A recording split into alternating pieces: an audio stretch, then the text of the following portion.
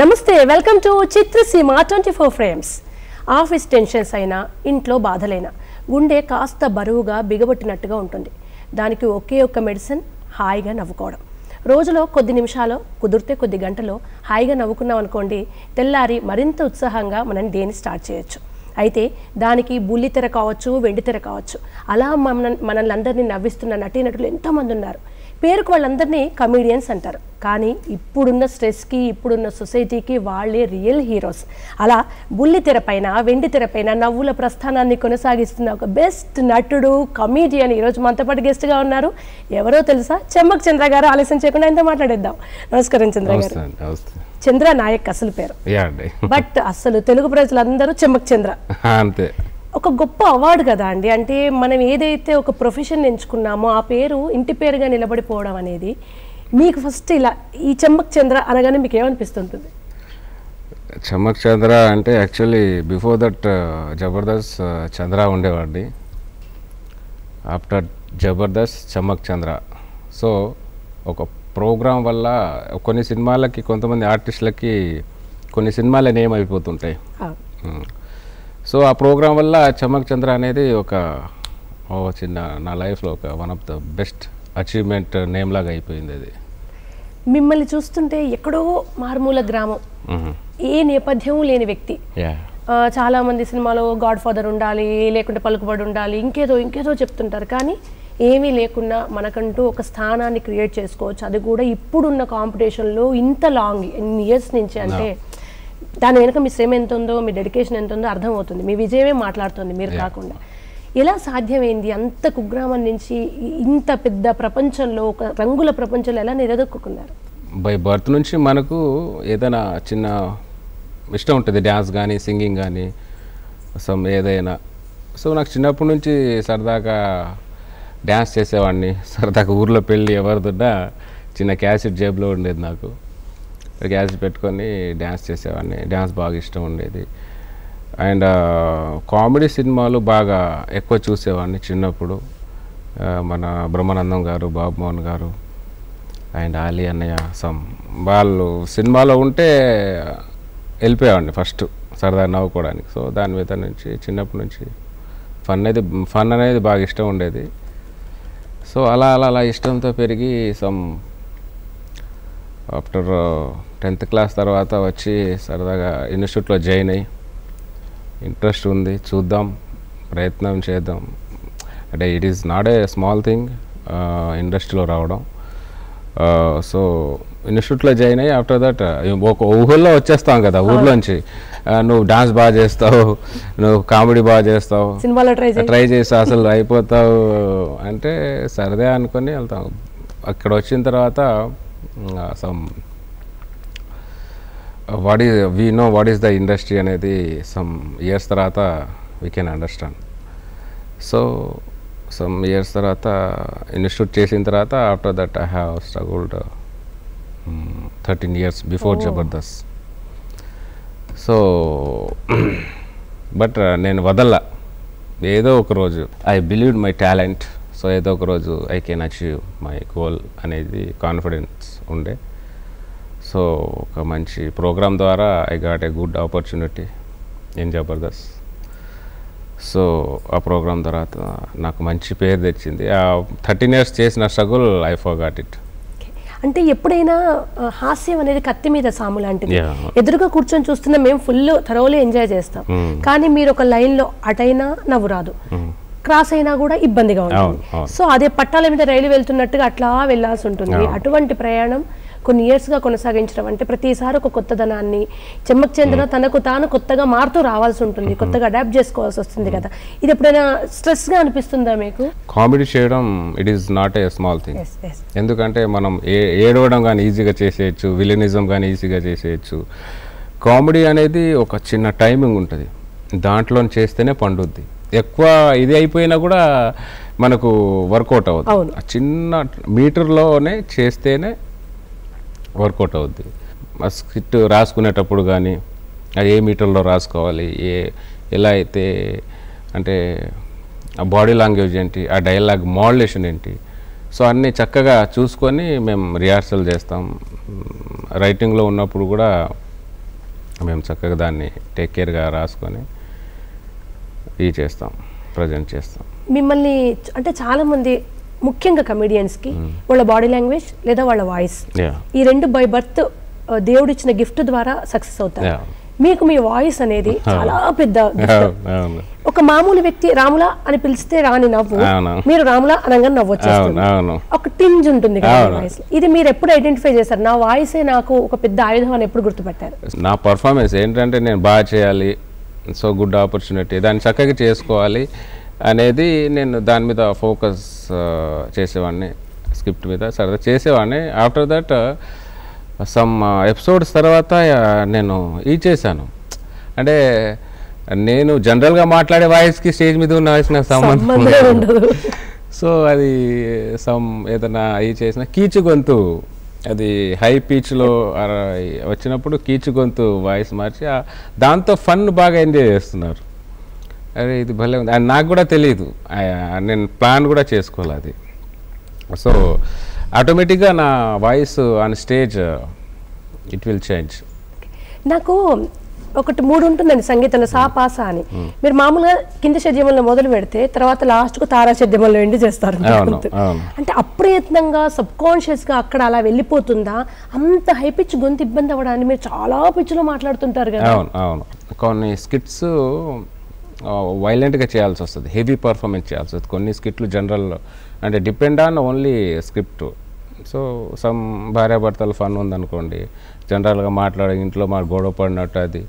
But some స్కి skits ఏంటంటే in between మిడిల్లో సమ్ అక్కడ నుంచి ఎత్తుకోవాల్సి వస్తుంది. సో అక్కడ నుంచి క్యారీ చేస్తే అప్ టు క్లైమాక్స్ వరకు దాన్ని మనం ఎలా క్యారీ చేయాలి? కొన్ని డిపెండ్ ఆన్ స్క్రిప్ట్స్ ఓన్లీ అవును. మీ గొంతు చాలా ముఖ్యమైన ఆయుధం. అది ఒక్కొక్క మూడ్లోకి వెళ్ళిపోయి మాట్లాడుతుంటారు కానీ ఇక్కడికి వచ్చాక కొన్ని professional problems vocal cord problems అన్ని స్టార్ట్ అవుతాయి. మీరు అది ఫేస్ కూడా చేశారు ఆ వాయిస్. పోయిన తర్వాత. ఆ తర్వాత ఏమైనా జాగ్రత్తలు తీసుకున్నారా? Yeah I still I I remember one it was one skit ఏంటంటే ఏదో స్కిట్లో బాగా అరిచాను. Further three four month throat infection వచ్చింది. సమ్ ఏదైనా మాట్లాడినా ఏదైనా సమ్ పెయిన్ రావడం వల్ల. సో ఆ టైంలో నేను త్రీ మంత్స్ జబర్దస్త్ మానేశాను. ప్రోగ్రామ్ మానేసి దాని గురించి చిన్న బెటర్ అంటే సమ్ యోగా అవి చేసుకొని మనం దాన్ని టేక్ కేర్ తీసుకొని మళ్ళీ కమ్బ్యాక్ వచ్చాను. మీరు బుల్లితెర మీద ఎంతగా అలరిస్తున్నారో ఇప్పుడు ఎంత మారిపోయినారు ఒకప్పుడు ప్రజలకు సెలబ్రిటీ అంటే వెండితెర మీద కనిపించాలి సినిమాల్లో కనిపించాలి అది కూడా మెయిన్ హీరో ఆర్ విలన్ ఇలా ఉంది. ఇప్పుడు బుల్లితెర ఎంత డామినేట్ చేస్తుందంటే ఒక దశలో సినిమా వాళ్ళకన్నా టీవీ వాళ్ళని ఎక్కువ గుర్తుపడతారు ఆడియన్స్ ఫ్యామిలీ ఆడియన్స్ ఎక్కువగా వాళ్ళని గుర్తుపట్టి సెల్ఫీలు అడగడం ఇలా. ఇలా మీరు పెద్ద సెలబ్రిటీ ఒక స్టేజ్ని ఎంజాయ్ చేస్తున్నారు కొన్నేళ్ళు. ఎలా అనిపిస్తుంది? ఒక్క గ్రామంలో ఎవరు గుర్తుపట్టిన ఒక వ్యక్తి ఇప్పుడు ప్రతి కుటుంబం మూగిపోతూ ఉంటుంది. అంటే మీకంటూ అసలు పర్సనల్ లైఫ్ స్పేస్ కూడా ఉండని పరిస్థితి కదా. ఎప్పుడైనా మనకు అనిపిస్తారా ఏం జరిగింది ఈ లైఫ్లో అనే ఫీలింగ్ ఉంటుందా మీకు? నిజంగా చాలా ఫీలింగ్ ఉంటుంది. అసలు ఏంటంటే అసలు నేనెక్కడ నా ఊరెక్కడ? ఈరోజు దానికి దీనికి అసలు ఎంతో మంది ఉన్నారు. అప్పటికీ many peoples my friends have been struggling in industry still since twenty years they are in struggle stage now so అలాంటిది దేవుడు నాకు అంత ఒక మంచి లైఫ్ ఇచ్చాడంటే ఇట్ ఈస్ గాడ్ గ్రేస్ ఎందుకంటే అది అదృష్టం అనుకోవాలి. ఎందుకంటే బికాజ్ ఆఫ్ మన దగ్గర టాలెంట్ ఉండాలి. మన మీద మనకు కాన్ఫిడెన్స్ ఉండాలి. సో ఎంత టాలెంట్ ఉన్నా ఎంత కాన్ఫిడెన్స్ ఉన్నా టెన్ పర్సెంట్ అదృష్టం కూడా ఉండాలి. సక్సెస్ ఇండస్ట్రీలో అయితే ఖచ్చితంగా. మ్మ్. సో ఆ టెన్ పర్సెంట్ అదృష్టం అనేది కొంతమందికి వస్తుంది. అందులో నేను ఒకడిని. సో నేను చాలా హ్యాపీగా ఫీల్ అవుతా. ఎవ్రీ టైం అంటే ఈ జన్మకి చాలా ఇది. మనం తెలియదు తెలియదు లైఫ్ బట్ ఏటో తెలియదు నేను పెద్ద కూడా చదువుకుంది ఏం లేదు. నేను సక్సెస్ అయ్యానంటే ఇట్ ఈస్ మై గా గుడ్నెస్ అండ్ నా అదృష్టం అంతే అది. మీరు కామెడీ ఒకటే కాదు స్క్రిప్ట్ మీరే రాసుకోవాల్సి ఉంటుంది. అవును అవును. మీలో ఒక రచయిత ఉండాలి. ఒక నటుడు ఉండాలి ఒక పర్ఫార్మర్ ఉండాలి. ఇప్పుడు ఏదో టేకులు తీసుకుంటూ చేయడం వేరు మీరు చాలా ఈవెంట్స్ కూడా చేస్తుంటారు కదా. మీలో ఉన్న రైటర్ని మీరు ఎప్పుడు గుర్తించారు అసలు? మనకు ఒక ఆపర్చునిటీ వచ్చినప్పుడు అన్నీ వచ్చేస్తాయి ఇంకా. టే అలర్ట్ అయిపోతుంది మన మైండ్ అంటే సో సరే నాకు ఆపర్చునిటీ వచ్చింది. నాకు సరదాగా రైటింగ్ చిన్న ఖాళీగా ఉన్నప్పుడు అలా రాసుకోవడం చిన్న చిన్న ట్రాకులు రాసుకోవడం బిఫోర్ జబర్దస్త్ నుంచే ఉండేది. సో వచ్చిన తర్వాత ఇంకా అలర్ట్ అయిపోయాను. అలర్ట్ అయిపోయి నేను ఎప్పుడూ స్క్రిప్టే నమ్ముతాను ఇప్పటికీ. స్క్రిప్టే హీరో. దాంట్లో దాంట్లో నేను యాక్ట్ చేయాలి అంతే. కానీ నేను యాక్ట్ చేస్తే ఎలాగైనా నడుస్తుంది అనేది నేను ఎప్పుడు బిలీవ్ చేయను. సో ఎప్పుడైనా స్క్రిప్ట్ స్టాండర్డ్ ఉంటే నీకు రైటింగ్ స్కిల్ ఉంటే నువ్వు నిలబడగలవు అనేది ప్రూవ్ అయింది. ప్రోగ్రామ్ చేసేటప్పుడే ఇప్పుడు writing Adi. Only writing skill. కాబట్టి స్క్రిప్టే. అంటే అక్కడ ఎవరు టీమ్ లీడర్ వాళ్ళు వాళ్ళు రాసుకున్న వాళ్ళే అక్కడ they are still running in Jabardasth. And మీరు నేను మిమ్మల్ని గమనిస్తే నాకు అర్థమవుతుంది మీ స్కిట్లంతా ఫ్యామిలీ డ్రామా. అండి. చెమ్మక్ చంద్ర అనగానే ఏదో ఫ్యామిలీ డ్రామాతో వచ్చేస్తారు అనేది. మీరు పర్టికులర్గా దాంట్లో మీరు వేయడానికి మీ చుట్టూ ఉన్న పరిస్థితులు మీరు చూసిన కుటుంబాలు ఒక పల్లెటూరు నేపథ్యము ఆ చిన్న గొడవలో ఏదో మనల్ని ట్రిగ్గర్ చేసి ఉంటుంది సబ్ కాన్షియస్గా. ఏం ట్రిగ్గర్ చేసింది? ఎందుకు ఆ లైన్ పట్టుకోవాల్సి వచ్చింది మీరు? సో యాక్చువల్లీ నాకు ఫస్ట్ కూడా తెలియదు ఏదో రెండు మూడు స్కిట్లు అలా చేశాను. తెలియకుండా నాకు ఫ్యామిలీ స్కిట్ మీద గ్రిప్ వచ్చింది. ఇప్పటికీ నేను వేరే స్కిట్ నేను చేయలేను చేయమన్నా. మీ ఫ్యామిలీలో చెప్పండి చిన్న డ్రామా తీసుకొని దాని చుట్టూ మొత్తం చిన్న పాయింట్ తీసుకొని దాని చుట్టూ మొత్తం డ్రామాలు వేస్తాను సో అది ఈరోజు నా ఫ్యామిలీ స్కిట్స్ అంటే సరదాగా ఒక ఫ్యామిలీ చక్కగా నా ఒపీనియన్ ఏంటంటే నాకు ఫ్యామిలీ స్కిట్లు భార్యాభర్తలు అవన్నీ చక్కగా చేస్తాడు అని మంచి నేమ్ వచ్చింది. ఆఫ్టర్ దట్ నేనేం ప్రిపేర్ అంటే పిల్లల దగ్గర నుంచి పెద్దవాళ్ళ వరకు. నా స్కిట్లో వస్తే సరదాగా చూసి ఎంజాయ్ చేయాలి ఇబ్బంది పడద్దు. అనేది నేను చాలా జాగ్రత్తలు తీసుకునేవాడిని. చిన్న పంచులు వేసిన చిన్న బూతు గీతు లేకుండా కొద్దిగా చాలా వరకు టేక్ కేర్గా ఓ మన కోసం పిల్లల దగ్గర నుంచి పెద్దవాళ్ళ వరకు మన ఆడియన్స్ ఎంజాయ్ చేస్తున్నప్పుడు మన ఆడియన్స్ మనకు ఉండాలి. ఒక కాన్ఫిడెన్స్ ఇవ్వాలి. మన స్కిట్ అబ్బాయి బాగా చేస్తాడు చక్కగా ఉంటుంది అనే కాన్ఫిడెన్స్ ఇవ్వాలని టేక్ కేర్గా చేసేవాడిని. భార్య భర్తల స్కిట్ ఫ్యామిలీ స్కిట్స్ దానికి మించిన డ్రామా ప్రపంచంలో ఏముంది చెప్పండి? ఫ్యామిలీకి మించిన డ్రామా? సో అది any world anyway anywhere. So అలా నేను బాగా చేసేవాడిని. చక్కగా అంటే ఈరోజు అంటే తనకు తాను చిన్న చిన్న స్కిట్లలో నా స్కి- ఒక్కొక్క స్కిట్లలో ఒక్కొక్కరు చూసుకుంటారు. తన క్యారెక్టర్ తను ఇన్వాల్వ్ అవుతారు. ఆడియన్స్ ఇన్వాల్వ్ అవుతారు. ఆల్ ఆడియన్స్ ఇన్వాల్వ్ అవుతారు. తన క్యారెక్టర్ ఇంట్లో ఉండే చిన్న చిన్న అప్పుడప్పుడు జరిగే చిన్న ఇది చూసుకుంటారు. ఓకే. అండ్ మీరు జబర్దస్త్ చేసిన టైం కానివ్వండి మరొక టైం కానివ్వండి ఒక పెద్ద హీరో చాలా పెద్ద బడ్జెట్ చాలా వెల్ నోన్ హీరో ఒక డైలాగ్ చెప్తే అది కొన్నేళ్ళు దాన్ని జనాలు నార్మల్ సందర్భాల్లో వాడడం అనేది అది అలవాటు ఉంది ఎందుకంటే అది పెద్ద సినిమా పెద్ద హీరో. కానీ ఒక కమేడియన్ అది కూడా ఒక బుల్లితెర మీద ఒక డైలాగ్ వాడితే అది అంత ప్రాచుర్ రాములా ఉంది. దానికి పునర్జన్మలు ఇచ్చారు ఆ వాడికి మీరు రాము అసలు అలా ఒక బుల్లితెర మీద ఒక చిన్న షోలో ఒక కమీడియన్ వాడిన దాన్ని నిత్య జీవితంలో జనాలు ఇప్పటికీ వాడుతూ. అది పాటల రూపంలో కూడా మళ్ళీ మళ్ళీ రావడం అనేది ఎలా సాధ్యమైంది. అంత పంచింగ్ అంత ఇంజెక్ట్ ఎలా చేస్తున్నారు జనాల్లోకి? అంటే నేను స్క్రిప్ట్ దగ్గర నుంచి చిన్న మ్యాండిజం దగ్గర నుంచి ఇవన్నీ బాగా ఫాలో అయ్యేవాడిని. పేరు నా స్క్రిప్ట్లో పేర్లు కూడా డిఫరెంట్గా ఉంటాయి. క్యాచీగా ఉంటాయి. అంటే ఒక టైప్ ఆఫ్ సౌండ్ ఉంటుంది పేరులో. నేను అది బాగా బిలీవ్ చేసేవాడిని. అంటే జనరల్గా ఇది వేరు. కొన్ని స్కిట్లలో అంటే ఒక బాగా ఉందనుకోండి స్కిట్ ఎక్కువ పిలిచే పేరు ఏదైనా ఉందనుకో టిపికల్ సౌండ్ ఉండాలని నా ఒపీనియన్. ఓకే. ఇప్పటికీ త్రివిక్రమ్ గారు షూటింగ్లో కలిసినప్పుడు చెప్తుంటారు ఆ పేర్లు ఎక్కడి నుంచి పడతావా అవన్నీ? వెరైటీ వెరైటీ పేర్లు ఉంటాయి. పేర్ల దగ్గర నుంచి చిన్న మ్యానరిజం అంటే we have to do some magic the అంటే స్కిట్నే నమ్మకుండా అంటే ఇంకా ఏం కావాలి ఇంకేం what we can add in the skits అని చెప్పేసి నేను థింక్ చేసేవాడిని. Hmm. సో పేరు దగ్గర నుంచి చిన్న మ్యారిజం దగ్గర నుంచి స్క్రిప్ట్ దగ్గర నుంచి అవి ఒక ప్యాకెడ్గా చిన్న ప్లాన్తో ఉండేవాడిని నేను. అలానే చేసేవాడిని. అంటే ఒక- ఒకటి క్లిక్ అవ్వాలన్నా ఒక వ్యక్తి హిట్ అవ్వాలన్నా అంత సూక్ష్మంగా ఆలోచించాలి. యాక్చువల్గా ఇది స్కిట్లో హాస్యం అంటే చాలా అనుకుంటారు కానీ ఒక నేమ్ సౌండింగ్ కూడా డిఫరెంట్ రాములు అనేది తెలంగాణ ప్రాంత ప్రజలకు చాలా అవును, ఊళ్ళల్లో ఉన్న. వాళ్ళు కామన్గా పిలుస్తుంటారు దాన్ని ఒక వెండి తెర బుల్లి తెర పైకి చొప్పించగలగడం అంటే. అంత నాడి పట్టుకోగలగాలి ఈ. జనం నాడి పట్టుకోవడం ఎక్కడి నుంచి స్టార్ట్ అయింది మీకు? నేనేం పక్క చిన్న ఊరు నుంచి వచ్చానండి. సో ఊర్లో వచ్చి కాబట్టి అన్ని డ్రామాలు మనకు తెలుసు. చిన్న చిన్న గొడవలు మనకు తెలుసు. అంటే పడి లేచి కొట్టుకునేది ఊర్లోనే ఉంటాయి. అపార్ట్మెంట్లో డోర్ వేసుకొని కొట్టుకుంటారు. ఊర్లో రోడ్డు మీద కొట్టుకుంటారు. సో అక్కడ నుంచి విలేజ్ నుంచి వచ్చాను కాబట్టి ప్రతి ఒక మిడిల్ జీవితాన్ని చూసి వచ్చాను కాబట్టి ఈరోజు అదే నాకు ప్లేస్ అయింది. సరదాగా ఒక బెస్ట్ ఒక మంచి ఫ్యామిలీ స్కిట్లు చేయడానికి ఒక మిడిల్ క్లాస్ కిట్స్ చేయడానికి నాకు మెయిన్ బలం నా ఊరు. నా ఊర్లో అవి చాలా చాలా గొడవలు అవన్నీ చూసి ఈరోజు అంత బెస్ట్ అవుట్పుట్ ఇవ్వడానికి కారణం బికాజ్ మై విలేజ్. సినిమాల్లోకి వచ్చేసరికి కూడా పాపం సినిమా అంతా కనిపిస్తుంటారు కొంతమంది. కానీ జనాలకు మాత్రం ఆ పాత్రలు గుర్తుకుండవు ఆ వ్యక్తులు గుర్తుండవు. ఇలాంటి వాళ్ళు కోకొల్లలుగా ఉంటారు. మీ టాలెంటా లేదా మీ ప్రొనౌన్సియేషనో మీ ఎక్స్ప్రెషనో కానీ ఒక కొన్ని నిమిషాల్లో ఒక మ్యాజిక్ అనేది క్రియేట్ అవుతుంది ఆ సినిమాలో.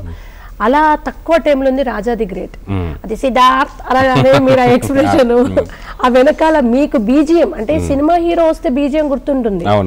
కానీ ఆ బీజిఎం ఎంత గుర్తుంటుందంటే మీరు ఇలా మూవ్ అవుతున్న బీజిఎం ఇప్పటికీ పిల్లలు గుర్తుంచుకుని నవ్వుతారు. ఆ సినిమా వంద సార్లు వచ్చి అవును. బుల్లి తెర నుంచి వెండి తెరకు ప్రయాణం అనేది అందరికీ అనిపించినంత ఈజీ ఏం కాదు. ఇక్కడ మీరు సెలబ్రిటీలు కదా సినిమాలోకి వచ్చేసారు అట్లా అనుకుంటారు. బట్. ఒక డైరెక్టర్ చాలా ఆలోచించి తీసుకుంటారు.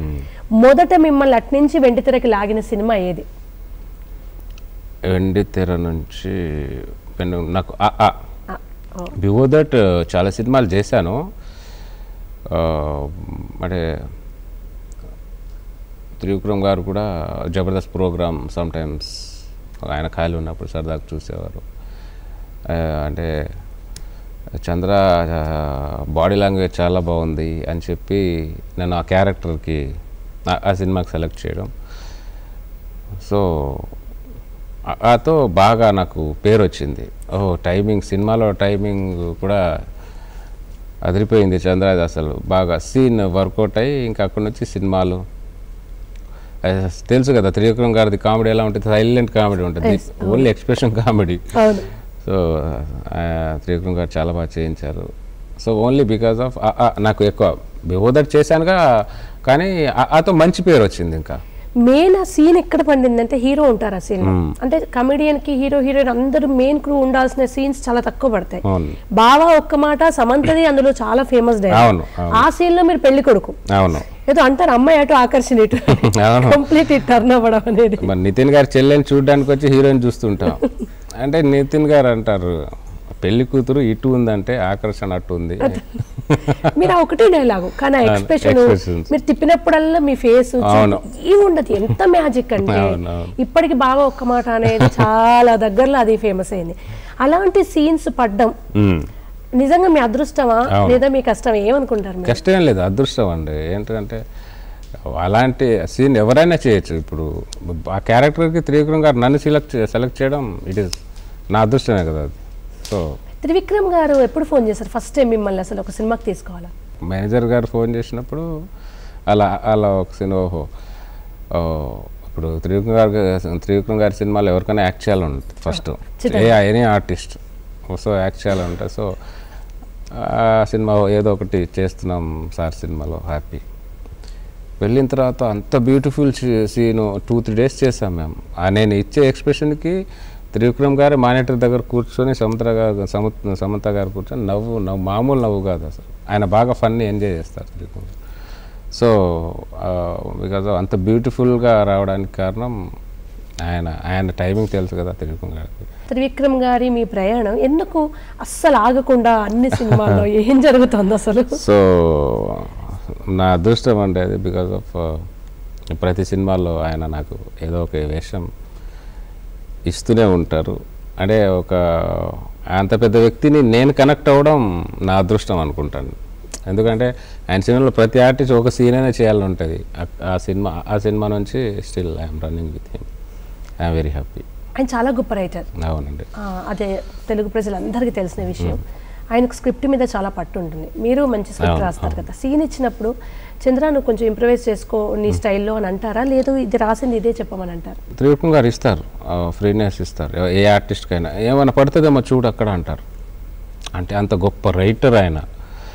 ఆయన అయినా అంటే ఇంకా ఏదైనా వర్కౌట్ అవుతుందేమో ఆ బాడీ లాంగ్వేజ్ కానీ ఏదైనా డైలాగ్ ఏమైనా పడుతుందో "ఆ, బాగుంది ఇది చేయి అంట ఒక అన్వేషణ అంటారు చూడండి. అన్వేషణ సినిమా ఎండింగ్ ఆయన ఆయన ఎంత రాసుకున్నా ఆ చిన్న అన్వేషణ మాత్రం త్రివిక్రమ్ గారికి ఎప్పుడు ఉంటుంది. ఇంకేం మీరు ఇంప్రవైజ్ చేసిన సీన్స్ ఏమైనా ఉన్నాయా? ఏం లేదండి. ఇప్పటివరకు అయితే సార్ చెప్పింది చేసుకుంటూ వెళ్ళిపోయాను అంతే. చిన్న చిన్న ఎక్స్ప్రెషన్స్ తప్ప ఆ టైమింగ్ డైలాగ్ టైమింగ్ మొత్తం ఆయన నీట్గా సారే చెప్తుంటారు అజ్ఞాతవాసి. అసలు మీకు మెగాస్టార్ అంటే చాలా ఇష్టం. మెగాస్టార్ ఫ్యామిలీ మెంబర్స్ అందరితో మీకు ప్రయాణం సాగుతుంది. నాగబాబు గారు కానివ్వండి పవన్ కళ్యాణ్ గారు కానీ ఎలా వచ్చింది అవకాశం? అంటే అది కలలు కంటారండి. ఇంకా లిటరల్గా తపస్సు చేస్తారు నిజం అవును. అసలు బ్లెస్డ్ ఈ విషయంతో మీరు బ్లెస్డ్ అని రాసేసుకోవచ్చు. ఎలా ఎలా అనిపించింది? సో జబర్దస్త్ ప్రోగ్రాంతో నాగబాబు గారు పరిచయం. ఇంకా అప్పటి నుంచి we're like a family members మేమంటే కొంత కొంతమంది ఆయనకు ఉంటాం రెగ్యులర్గా మేము. కొంతమంది ఫోర్ ఫైవ్ మెంబర్స్. సరదాగా ఇది ఉన్న సరదాగా నవ్వుకోవడం కలవడం చేస్తుంటాం సరదాగా సార్తో గడుపుతుంటాం. So really very happy. ఎందుకంటే నేను చిరణ్ సార్కి నేను పెద్ద ఫ్యాన్ని. ఈరోజు ఆయనని కలిసి ఈరోజు ఒకరోజు ఆయన బర్త్డేకి వెళ్తే చంద్ర రా అన్నాడు. వస్తుంటే అంటే చంద్ర రా అంటే ఆయన నోట్లోంచి నా పేరు వస్తుందని ఎక్స్పెక్ట్ చేయం చే- చేయము కదా ఫస్ట్ ఆఫ్ ఆల్. ఎందుకంటే ఆయన చూసి వచ్చిన వాళ్ళం. జీవితంలో ఆయనతో ఎప్పుడైనా చూస్తా అని నేను కల కలలుగనేవాడిని ఈరోజు ఒక మంచి ఆర్టిస్ట్గా నన్ను చాలా బాగా చిరించారు ఈ స్కిట్లు నా స్కిట్ల గురించి వివరిస్తుంటారు మాట్లాడుతుంటారు. ఓ జీవితంలో మనం సాధించాం. ఎంతో కొంత. అంత పెద్ద స్టార్సే మనల్ని ఈరోజు ఈ చేస్తున్నారంటే మన జీవితంలో అయితే ఎంతో కొంత సాధించామని హ్యాపీగా ఫీల్ అవుతాం. తెలుగు ఇండస్ట్రీలో టాప్ హీరోస్. ప్రజలు పడి చచ్చిపోయే హీరోస్ అందరితో చేశారు. ఎన్టీఆర్ గారు కానివ్వండి అల్లు అర్జున్ గారు కానివ్వండి. అవును. తర్వాత అరవింద సమేత. అరవింద్ సమేత దాంట్లో కూడా మంచి మంచి మంచి క్యారెక్టర్ ఆ ఆఫర్ ఎలా? అది సేమ్ ఇంకా సారే గురుగారు మా త్రివిక్రమ్ గారే కదా ఇంకా సినిమా కాబట్టి సారే ఇంకా. ఎన్టీఆర్ గారు కూడా చాలా చిల్ చాలా కామెడీగా ఉంటారు కదా సెట్స్ అంతా కూడా. ఎప్పుడైనా ఆయనతో కలిసి టైం స్పెండ్ చేసే అవకాశం మీకు కలిగిందా సెట్ ఏం లేదండి ఏంటంటే సరదాగా ఏదైనా ఉంటే టూ వర్డ్స్ మాట్లాడుకొని ఇంకా నాకు నేను పక్కన కూర్చుంటాను. ఎవరి పనిలో వాళ్ళు బిజీగా ఉంటాం. అంతే. రిహార్సల్ చేస్తారా అండి మీరు సినిమా కోసం? రిహార్సల్ ఏముందండి? లేదండి. ఆన్ సెట్ ఏదైనా వన్ టు టైం రిహార్సల్ చేసుకొని ఎవరి టైమింగ్ వాళ్ళు చూసుకొని ఫర్దర్గా వెళ్ళిపోవడమే. చంద్ర గారు ఆ తర్వాత యాజ్ ఇట్ ఈస్ జబర్దస్త్ లాగా మళ్ళీ మిమ్మల్ని చూసినట్టుగా అనిపించిన సినిమా తెనాలి రామకృష్ణ. డైరెక్టర్ పర్టికులర్గా అలానే కావాలని కోరుకున్నారా? ఎందుకు యాజ్ ఇట్ ఈస్గా అనిపించింది ఎందుకో? యాస్టీస్ ఏంటంటే ఒకసారి అదే రాసుకునేటప్పుడు కొన్ని క్యారెక్టర్ ఈ క్యారెక్టర్ తను చేస్తే బాగుంటుంది ఆ క్యారెక్టర్ తను చేస్తే బాగుంటుంది. కొన్ని క్యారెక్టరేషన్ రాసుకుంటారు directors. So sometimes dates problem ఉన్నా కొన్ని కుదురుతాయి కొన్ని కుదరవు. సో అప్పుడు నాకు నాగేశ్వరరెడ్డి గారు ఫోన్ చేశారు ఆ సినిమాకి చంద్ర ఒక క్యారెక్టర్ చేయాలి చాలా మంచి క్యారెక్టర్ తప్పకుండా సార్ చేస్తాను కట్ చేస్తే ఏదో అనుకున్నాను బట్ నా నాకు కూడా తెలియదు అంత మంచి క్యారెక్టర్ అని సో నేను లేడీ గెటప్ డ్రాప్ చేయడానికి లేడీ గెటప్ వేసుకొని వెళ్ళడం అవన్నీ. అంటే లేడీ గెటప్లో సమ్ మాసివ్గా ఉండేది నేను కొద్దిగా బాగా ఫేమస్ ఒకటి అవును. సో ఆయన అలా చంద్ర చేస్తే బాగుంటుందని అనుకున్నారేమో సో ఆ క్యారెక్టర్ రెండు రకాలు ఉంటాయండి ఒకటేమో క్యారెక్టర్ ఉంది వచ్చి చేస్తారా అనేది. ఒకటేమో రైటర్ రాసుకున్నప్పుడే ఈ క్యారెక్టర్ ఆయన కోసం రాసుకుందాము అనేది. అలా ఏదైనా మిమ్మల్ని ఇది నిన్నే దృష్టిలో పెట్టుకొని రాసా చంద్ర అని ఎవరైనా చెప్పిన సందర్భాలు ఉన్నాయా పర్టికులర్గా ఏది అనేది గుర్తులేదు. రెండు మూడు సినిమాలు అయితే కొన్ని కొన్ని మిమ్మల్ని చూస్తుంటే ఇదే ఇది రాసేటప్పుడే చెమ్మక్ చంద్ర గారిని దృష్టిలో పెట్టుకొని రాసారేమో అనిపించే ఫీలింగ్ వస్తుంది. తెనాలి రామకృష్ణ గారు కానివ్వండి. ఆ- కానివ్వండి. ఇవి క్లియర్గా కనిపిస్తుంటుంది. ఓకే రాసేటప్పుడే చెమ్మక్ చంద్ర ఊహించుకొని రాసుంటారేమో అని సో మనం ఎనీ ఆర్టిస్ట్ మనం ఇన్వాల్వ్ అయ్యి చేస్తే అది అంటే ఇన్వాల్వ్ అయ్యి చేసామనుకో "ఓహో, తను చేస్తేనే బాగుంది అన్న ఫీల్ ప్రతి ఆర్టిస్ట్ కలిగి కలిగించామనుకోండి అది ఫైనల్గా ఏంటి సీన్ పండడం. ఫైనల్గా అది వర్కౌట్ అయిందనుకో ఆ సీన్కి అతను యాప్ట్ అనేది అనిపించింది అనుకో అది ఆర్టిస్ట్ సక్సెస్ అంటాను నేను. అలవైకుంఠపురంలో ఎక్స్పీరియన్స్ ఒకసారి మా షేర్ చేసుకోండి. ఆ సినిమా ఆ స్టోరీలో మీ క్యారెక్టర్ గురించి ఎప్పుడు చెప్పారు తర్వాత సెట్స్ గురించి ఏదైనా ఎక్స్పీరియన్స్? అలా వైకుంఠపురంలో వన్ డేనే చేసాం షూటింగ్ అది. సో సార్ ఏదో పిలిచారో చేసాం చిన్న బిట్టు మధ్య మిడిల్లో రావడం నేను కూడా అంత వర్కౌట్ అవుతుంది ఏదో చేసాం బట్ నాకు తెలియదు ఎంత వర్కౌట్ చిన్న బిట్ అయినా చిన్న బిట్ అయినా చాలా చాలా బ్యూటిఫుల్గా గుర్తుండిపోద్ది. అంటే బికాస్ ఆఫ్ మన త్రివిక్రమ్ గారి డిజైనింగ్ అలా ఉంటుంది. ఆయన ఏది ఒక చిన్న డైలాగ్ ఉన్నా ఇంపాక్ట్ ఎక్కువ ఉంటుంది. సినిమాలో చిన్న ఒక అలా చూసేసి వెళ్ళిపోయినా కూడా అలా అంత ఇంపార్టెన్స్ ఇస్తారు చిన్న క్యారెక్టర్ దగ్గర నుంచి Trivikram garu. So because of ప్రతి క్యారెక్టర్ సినిమాలో నాది గుర్తుందంటే ఆయన చేసే సినిమాలో బికాస్ ఆఫ్ త్రివిక్రమ్ గారి డిజైనింగ్ అది. ఇండస్ట్రీలో ఒకటి ఉంటుంది. ఒక ముద్ర పడిపోతే అదే ఇస్తారు. అవును. పలానా క్యారెక్టర్ విలన్ అయితే విలను కమెడియన్ అయితే. కానీ మీకేమో బుల్లితెర మీద కమెడియన్ ఇంపాక్ట్. అవసరం మీకు. అవును. బట్ వెండితెర మీదకి వచ్చేసరికి నటునిలో చాలా యాంగిల్స్ ఉంటాయి. మీరు కమెడియన్ గానే మాకు తెలుసు. మేబీ మీరు విలన్గా మమ్మల్ని మెప్పిస్తారేమో ఏడిపించగలుగుతారేమో మీకే తెలుసు మాకు. అవును అవును. అరే అన్ని ఇవే వస్తున్నాయంటబ్బా. నాకు ఈ రోల్ పడితే బాగుండు. నేనేంటో ఇంకా different గా ప్రూవ్ చేసుకోవాలి. ఆడియన్స్ కానీ ఫీల్ అయిన సందర్భాలు ఉన్నాయా? నాకేం లేదండి. బికాజ్ ఆఫ్ కమెడియన్ అనేది it is very tough job నువ్వు అది చేయగలిగిన తర్వాత ఏదైనా చేయగలుగుతావు. విలన్ విలైనా చేస్తావు ఏడిపిస్తావు. నువ్వు నవ్వించడం ఒకటి చేయి దాని తర్వాత ఏదైనా చేస్తావు. నాకు యాక్చువల్లీ అది నేను ఫస్ట్ అక్కడ నుంచి ఆ టఫ్ జాబ్ నుంచి వచ్చాను కాబట్టి I'm very happy because of after that I can do anything so ఒక విలన్ విలన్గా చేయడం నాకు బాగా ఇష్టం యాక్చువల్లీ తమిళ్ళో కూడా ఒక మూవీ చేశాను త్రూఅవుట్ క్యారెక్టర్ విలన్ది సో ఇట్ ఈజ్ మై చిన్న ఏం ఉండే చేయాలనే చిన్న కోరిక ఉండేది. అది చేశాను. బట్ కమెడియన్గా నాకు I'm very happy no. Atagadara శివాకి ఎలా వచ్చిందండి ఆఫర్? ఆటగదరా శివ ఏముందంటే ఆల్రెడీ ఏదో చూస్తారు కాబట్టి సినిమాలు ఆ సినిమాలు ఈ సినిమాలు నుంచి కానీ షోస్ దగ్గర నుంచి ఆ, చూసి ఆ టైమింగ్ చూసి ఎవరన్నా కాల్ చేసి ఈ సీన్ తను చేస్తే బాగుంటుందని అనుకొని చే చేస్తుంటారు అంతే. మీరు ఇటు బుల్లితెర మీద చాలా బిజీ. అవి కాకుండా చాలా ఈవెంట్స్కి అటెండ్ అవుతూ ఉంటారు ఈవెంట్స్ చేస్తూ ఉంటారు. సినిమా వాళ్ళు చాలా మంది అప్రోచ్ అయ్యే సందర్భాలు ఉంటాయి. ముఖ్యంగా పాపం చిన్న సినిమా వాళ్ళకి ఎలా ఉంటుందంటే వెల్ నౌన్ ఫేజ్ వీళ్ళది. వీళ్ళు మా సినిమాలో చేస్తే మా సినిమాకి రికగ్నేషన్ ఉంటుందేమో అని ఫీల్ అయ్యే వాళ్ళు కూడా ఉంటారు కదా. అలా అప్రోచ్ అయినప్పుడు మీరు కొంచెం సీనియర్ యాక్టరు త్రివిక్రమ్ గారు అంటే పెద్ద పెద్ద హీరోలతో పాటు చేశారు. మాకు చేస్తారో చేయరో అనే భయం కూడా కొంతమందిలో ఉంటుంది. మీరు మీ చుట్టూన్న వాళ్ళని అలా కొంచెం చెమ్మక్ చంద్ర వస్తారో రారో అనే భయంలో ఉంచుతారా? చంద్ర గారు అడిగితే హెల్ప్ చేస్తారు మనకు చేస్తారు అనే కంఫర్ట్ జోన్ క్రియేట్ చేస్తారా?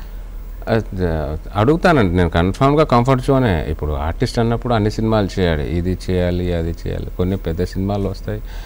అది ఓకే దాన్ని చక్కగా హోల్డ్ చేసుకొని చిన్న సినిమాలు కూడా వాళ్ళకు కూడా మనం అంటే ఇక్కడ ఏ సినిమా ఏ ఆర్టిస్ట్కి వర్కౌట్ అవుద్దో ఎవరికి తెలియదు. అవును.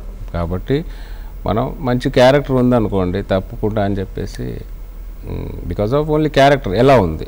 నీట్గా ఉందా? ఓకే నైస్ అది క్యారెక్టర్ బాగుంటే నేను ఎనీ సినిమాలు అసలు ఖాళీ ఉంటే హ్యాపీగా డేట్ ఇచ్చేసి నేను ప్రొసీడ్ అయిపోతాను మీరు వచ్చినప్పటికీ ఇప్పటికీ అంటే ఒక దశాబ్దంన్నర రెండు దశాబ్దాలు కావస్తుంది కదా. చాలా మార్పులు వచ్చాయండి సొసైటీలో టెక్నాలజీలో. అప్పుడు మీరు డైరెక్టర్ని కలవాలి ఆఫీసులో చుట్టూ తిరగాలి ఏవో కృష్ణనగర్ కష్టాలన్నీ పడాలి. ఇప్పుడు ఒక సెల్ ఫోన్ ఉంటే వాళ్ళు ఒక వీడియో అప్లోడ్ చేసుకుంటే వాళ్ళకి టాలెంట్ ఉంటే మిలియన్స్ వ్యూస్ వచ్చి రెడ్ కార్పెట్ వేసి తీసుకెళ్తున్నారు కదా. ఇన్ని ఇయర్స్లో అరే మాకు ఆ టెక్నాలజీ ఉంటే మేము ఆ కష్టాలు పడకపోయి ఉండేవాళ్ళమే. ఇప్పుడు ఎంత ఈజీగా వచ్చేస్తున్నారు. సెలబ్రిటీ వన్ డేలో అవుతున్నారండి మీరు సెలబ్రిటీ అవ్వడానికి పదేళ్ళు కష్టపడ్డారు. అని మీరు ఎప్పుడైనా అనుకున్న సందర్భాలు ఉన్నాయా? చాలా చాలా మందికి చెప్తుంటాను కూడా. ఎందుకంటే I think I started my career ninety eight అనుకుంటా ఐ థింక్ సో ఆ టైంలో ఆఫీసులు తిరిగి ఈ చేసి ఆ చేసి ఆ రెండు ఛానల్ ఏదైనా సీరియల్లో అవకాశం వస్తుందేమో అని ఆ ఛానల్ చుట్టూ ఎప్పుడప్పుడు వెళ్ళేవాళ్ళం ఆఫీస్ తిరిగేవాళ్ళం. అంటే ఇప్పుడు ఆలోచిస్తే there are many offers now present situation yes so if you have talent you can come out because ఎందుకంటే నీ సెల్ ఫోన్లో ఇది ఉందనుకో ఈరోజు నువ్వేంటో చూపించుకోవచ్చు. ఓన్లీ వన్ వీడియో వైరల్ అయితే యువర్ బికమ్ ఏ సెలబ్రిటీ అలాంటిది నిజంగా చాలా ఆపర్చునిటీస్ ఉన్నాయి ఈ రోజుల్లో. మా టైంలో నైన్టీన్ నైంటీ ఎయిట్లో అయితే ఆ స్ట్రగుల్ చాలా చేసాం సో అదే అప్పుడు ఉండి ఉంటే ఇంకా నేను ముందుగా అయ్యేవాడినేమో ఇంత స్ట్రగుల్ ఉండేది కాదేమో నా లైఫ్లో అని నాకు ఆలో అలా అనిపిస్తుంది. సో ఎనీథింగ్ ఏదైనా మన మంచి కొరకే. So struggle some struggles we have to face ఇప్పుడు మీరు అంటే ఇప్పుడు ఇన్కమ్ సోర్సెస్ కూడా అండి. అప్పుడు మీరు కష్టపడాలంటే ఎక్కడో జాబ్ చేయాలి మళ్ళీ టైం కుదుర్చుకుని ఇక్కడే ట్రై చేయాలి. ఇప్పుడు ఒక వీడియో అప్లోడ్ చేస్తే ఫేమ్ వస్తుంది నేమ్ వస్తుంది amount YouTube generate income generate అవుతుంది. అసలు ఇల్లు కదలట్లేదు. వాళ్ళు ఉన్న ఇల్లు ఆ లైన్ ఆ ఊరే వాళ్ళ వేదిక. అదే సెట్. ఉన్నంతలో కూర్చుని హాయిగా పెద్దవాళ్ళు అసలు ఇంత చిన్న పిల్లల నుంచి డెబ్బై ఏళ్ళ ముసలి వాళ్ళ దాకా అందరూ స్కిట్స్ కామెడీ ఇప్పుడు అలా వచ్చిన వాళ్ళలో గంగవ్వ. గ్రామం దాటకుండా సెలబ్రిటీ అయిన వ్యక్తి. అలాంటి వాళ్ళు ఎంతో మంది ఉన్నారు కదా. ఈ ఇన్కమ్ జనరేట్ అవ్వడం అనేది మీరు డబ్బుల కోసం చాలా కష్టపడ్డ సందర్భాలు ఉన్నాయి కదా. డబ్బు పేరు ఇవన్నీ ఒక పక్కనే పెడితే డబ్బు ఇంత ఈజీగా డబ్బు వచ్చే సందర్భం ఉంటే మీరు ఇంకా ఫోకస్డ్గా ఉండేవాళ్ళేమో. అంటే కొన్ని ఏళ్ళ కాలం తిరిగి రాని కాలాన్ని స్ట్రగుల్ చేశారు కదా. మీరు ఇప్పుడు ఇటు ఉంటూనే అందరూ మీ వాళ్ళంతా యూట్యూబ్స్ పెట్టుకున్నారు. అవును. అమౌంట్ పరంగా ఉన్న లగ్జరీస్ చూస్తుంటే ఏమనిపిస్తుంటుంది మీకు? అమౌంట్ పరంగా లగ్జరీస్ అనేది ఆఫ్టర్ మనం మన లైఫ్లో బెస్ట్ యాజ్ ఏ ఆర్టిస్ట్ కానీ టెక్నీషియన్స్ కానీ అచీవ్ చేసిన తర్వాత అమౌంట్ ఆటోమేటికల్లీ కమ్. సో డబ్బులు గిబ్బులు వచ్చిన చిన్న బ్యాలెన్స్ ఉండాలి లైఫ్లో. అంటే దాన్ని వచ్చే డబ్బుల్ని చక్కగా ఇన్వెస్ట్ చేసుకోవడము చక్కగా ఏదైనా కొనేయడము అని వస్తుంటాయి.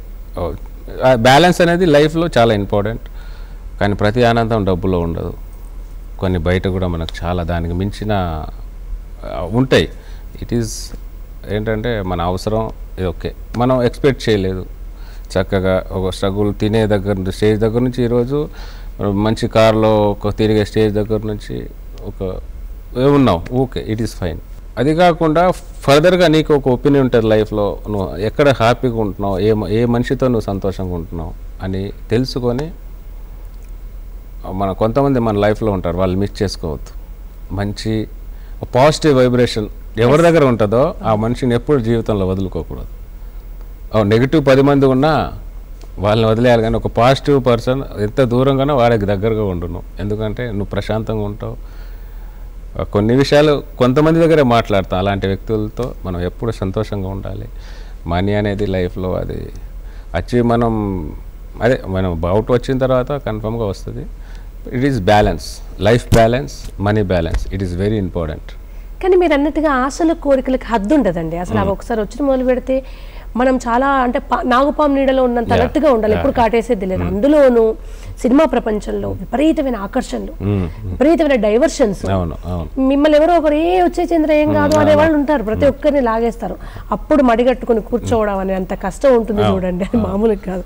ఇన్నేళ్ళలో అలా తప్పుదారి పట్టకుండా ఎలా ఉండగలుగుతున్నారు? Self control. కన్ఫర్మ్ ఉండాలండి. ఎందుకంటే మనకు సరే ఈరోజు మన దగ్గర స్ట్రగుల్లో ఉన్నప్పుడు మన దగ్గర ఎవరు రారు? ఏమో వెళ్తే ఏమో వాడు ఏదో ఏదో అంటాడు రెండు రూపాయలు అడుగుతాడు పది రూపాయలు అడుగుతాడు ఎందుకు రా అని ఫోన్ కూడా ఎత్తాడు. అవును. ఈరోజు నువ్వు ఒక మంచి పొజిషన్కి వచ్చిన తర్వాత పది ఫోన్లు వస్తాయి. అక్కడే బ్యాలెన్స్ ఉండాలి మనకు. అంటే ఆ టైంలో నువ్వు ఆ పది ఫోన్లు ఎంజాయ్ చేయడానికి ఎవరికి పిలవకపోయినా యూ హ్యావ్ ఏ మనీ కదా. నీ దగ్గర బొచ్చడు మనీ ఉంది. నువ్వే ఎంజాయ్ చేసుకోవచ్చు. నువ్వు ఇన్ని ఇన్ని సంవత్సరాలు చేసిన స్ట్రగుల్ నువ్వు కొన్ని some ten years fifteen years struggle చేసావు. ఇప్పుడు after after that you got a good life ఈ లైఫ్ని ఎంజాయ్ చేయాలి. అప్పుడు ఎంజాయ్ చేస్తే విచ్చలవిడితనం చేస్తే ఇంకేముంటుంది లైఫ్. ఆ ప్లాన్ లేక ఎంతో సంపాదించి ఒక స్టేజ్కి వెళ్ళిన వాళ్ళు ఇవాళ. ఇంత అనామకంగా మిగిలిపోయి చేసే పరిస్థితిలోకి వచ్చారు. అవును అవును. అదే బిఫోర్ దట్ మనకు చాలా మంది ఆర్టిస్టులు టెక్నీషియన్స్ ఉన్నారు. అండ్ లైఫ్ని ఎలా స్పాయిల్ చేసుకున్నారు? ఏంటి? It is there bad luck అది చూస్తే అది మనకు చాలా అంత గొప్ప గొప్ప వాళ్ళు ఎందుకు? బాధ అనిపిస్తుంది మనకు ఆలోచిస్తే. అంత దూరం మనం ఎందుకు తెచ్చుకోవడం? అంత ఇది లేక చిన్న ఇది ఉన్న దాంట్లో హ్యాపీగా బతికి హ్యాపీగా చిన్న బ్యాలెన్స్డ్గా వెళ్తే చాలు హ్యాపీగా ఉంటాం అని చెప్పేసి. ఇలా మిమ్మల్ని ఈ ఇండస్ట్రీలో గైడ్ చేస్తున్న గాడ్ ఫాదర్ ఎవరైనా ఉన్నారా? చంద్ర ఇటు వెళ్ళకు అటు వెళ్ళకు జాగ్రత్త అని చెప్తున్న వాళ్ళు ఇప్పుడు. నాకు ఈ విషయంలో ఏ గాడ్ ఫాదర్ లేదు. నాకు నేనే గాడ్ నా స్ట్రగులే నా గాడ్ ఫాదర్ ఒకప్పుడు ఒక మాట వింటూ ఉండేవాళ్ళం. నవ్విచ్చే వాళ్ళ వెనకాల చాలా కన్నీళ్ళు ఉంటాయి అని. కానీ ఇప్పుడు భగవంతుని ఏమో కానీ నవ్వుతున్న వాళ్ళ జీవితాలు కూడా హాయిగా ఉంటున్నాయి. బుల్లితెర వెండితెర ఏవైనా. ఆ కామెడీలో మీరే యాక్టరు మీరే స్క్రిప్ట్ రైటరు మీరే director twenty four crafts technician మీరే అనుకోవచ్చు ఆ- స్కిట్ మట్టుకు. ఇప్పుడు మీ తోటి ఫ్రెండ్స్ లేకుంటే మీ కొలీగ్స్ అంతా మెల్లిమెల్లిగా సినిమాలు డైరెక్షన్ చేస్తున్నారు. డిఫరెంట్ డిఫరెంట్గా ట్రై చేస్తున్నారు కదా. మీలో ఒక మంచి డైరెక్టర్ ఉన్నారు. ఎందుకంటే స్కిట్ కూడా మీరే డైరెక్ట్ చేసుకుంటారు కనుక. పెద్ద సినిమా డైరెక్ట్ చేయాలి అనే ఆలోచనకి ఎప్పుడైనా వచ్చారా? ఆ డైరెక్షన్ అనేది నాకు ఆలోచన రాలేదంటే it is very tough job so సరదాగా రాసుకోవడం అలా ఇష్టం బట్ థాట్ అయితే లేదు ఉన్న సినిమాలు చక్కగా చేసుకుంటూ వెళ్ళిపోవడం తప్ప. చంద్ర గారు మీరంటేనే ఒక డిఫరెంట్ డైలాగ్ ఒక డిఫరెంట్ వాయిస్ ఒక డిఫరెంట్ ఎక్స్ప్రెషన్ మా దూరదర్శన్ యాదగిరి ప్రేక్షకులకి ఈ రోజు మీరు ఇలా కనిపించడం అనేది పండుగ చేసుకుంటుంటారు నాకు తెలిసి. వాళ్ళందరి కోసం సినిమాలో చాలా హిట్ అయిన ఒక్క వర్డ్ ఒక డైలాగ్ ఏదైనా. సినిమాల్లో హిట్ అయిన డైలాగ్ కంటే స్కిట్లో హిట్ మ్యాండ్రిజం సినిమాలో తక్కువ ఏదో ఒకటి. మీ కూరల్లో నా కరివేపాకు అందరు ఎలా ఉన్నారు? సో ఇది డైలాగ్ నేను లేడీ గెట్టప్ వేసినప్పుడు కోడల్ని తిట్టే నీ కూరలో కరివేపాకు ఎందుకే? నా ఇంటికి వచ్చినప్పుడు మూసుకోనుండు. అన్నప్పుడు కూరలో కరివేపాకు లాగా చేయకు. నీ కూరలో నా కరివేపాకు అత్త మాటే గొప్పగా చల్లాలి అనేది ఒక మంచి dialogue. So first of all thank you so much మన యాదగిరి ఛానల్ ప్రేక్షకులందరికీ నమస్కారం. ఎందుకంటే ఈ ఛానల్తో మాకున్న అనుబంధం ఇప్పటిది కాదు. మా చైల్డ్హుడ్ నుంచి ఇదే ఛానల్ ఇదే మాకు చాలా. అందుకే ఈరోజు ఈ ఛానల్కి రావడానికి because of my happy intention.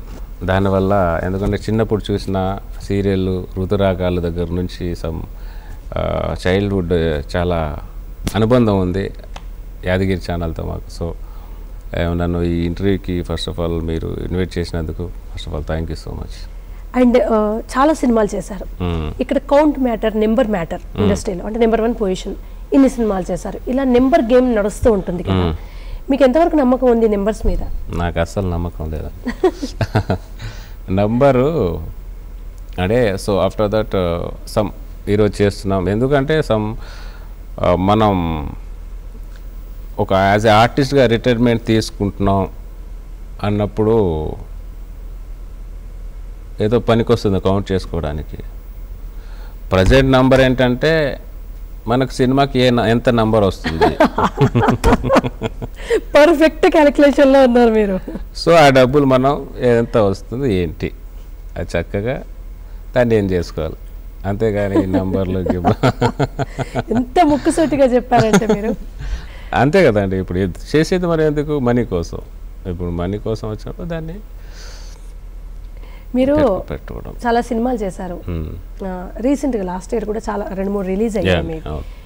ఇప్పుడు సినిమా బుల్లితెర రెండు సమానంగా ఇలా ప్రయాణం చేస్తున్నారు మీరు. అప్కమింగ్ ప్రాజెక్ట్స్ ఏమున్నాయి సినిమాలో? మీ గురువు గారి సినిమా ఏదైనా ఉందా? ఉంది కదా మా త్రివిక్రమ్ గారు సార్ అది మహేష్ బాబు సినిమా ఉంది నెక్స్ట్ మహేష్ బాబు గారిది ఒకటి అండ్ విజయ్ దేవరకొండది ఒకటి నడుస్తుంది నాగశౌర్య. అండ్ సందీప్ కిషన్. అండ్ రెండు మూడు కొత్త సినిమాలు. ఓకే.